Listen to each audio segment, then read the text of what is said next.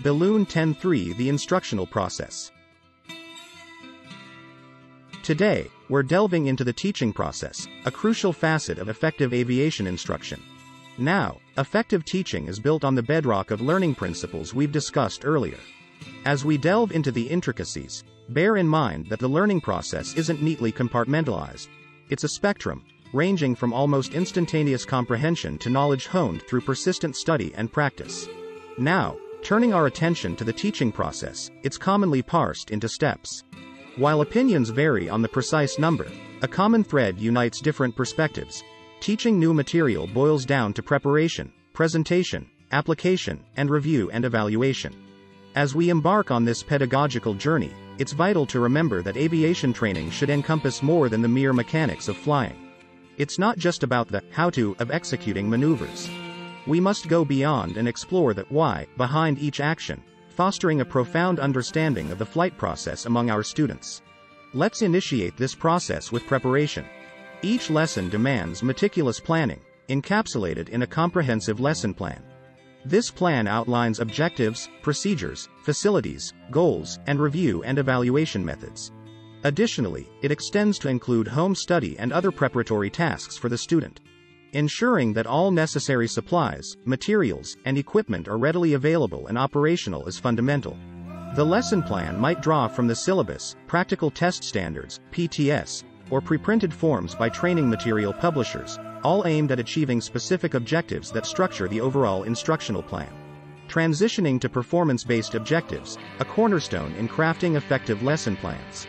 These objectives, rooted in the syllabus or PTS, establish clear, measurable standards for student performance. Adopting that DAM principle, making objectives difficult, attainable, and measurable, guides the instructor in creating impactful objectives.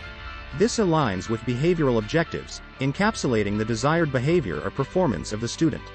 Performance-based objectives break down into three essential components, a description of the skill or behavior, conditions, and criteria. This triad provides a nuanced understanding, ensuring a uniform perception of the objective, how it's executed, and the expected performance level. The utilization of performance-based objectives serves a dual purpose. It not only aids instructors in guiding the learning journey but also offers students a comprehensive overview. This holistic perspective alleviates potential frustrations, enriching the overall learning experience.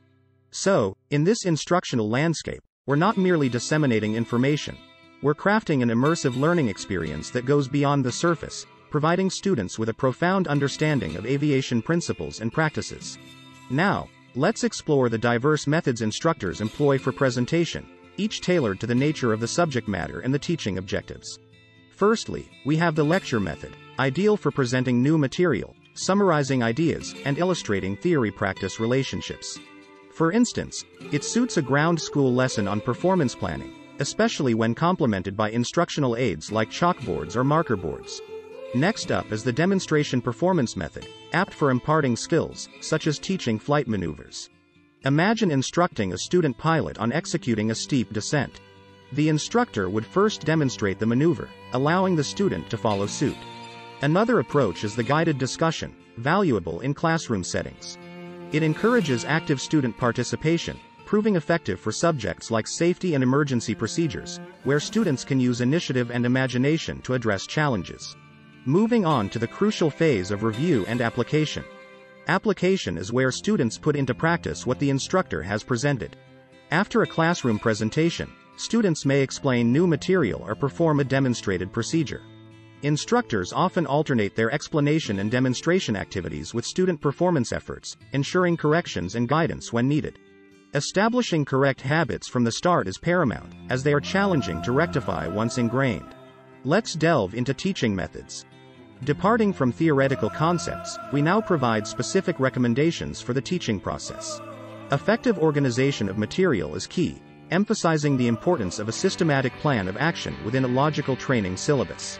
The syllabus must encompass lesson descriptions, objectives, and completion standards. The lesson plan structure typically comprises introduction, development, and conclusion. The introduction, crucial in setting the stage, comprises attention, motivation, and an overview of the content. Attention is captivated through storytelling, surprising statements, questions, or jokes, all relevant to the subject. Motivation follows, elucidating why the lesson content holds significance for the students. Lastly, the overview offers a roadmap of what lies ahead during the lesson.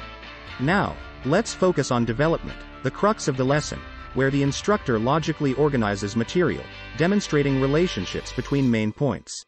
This can be achieved through various structures, past to present, simple to complex, known to unknown, and most to least frequently used. Subordinate points should flow logically, leading from one to the other, with meaningful transitions aiding comprehension. Finally, the conclusion is a vital component, summarizing key elements and relating them to the objective. This reinforcement enhances student learning and retention.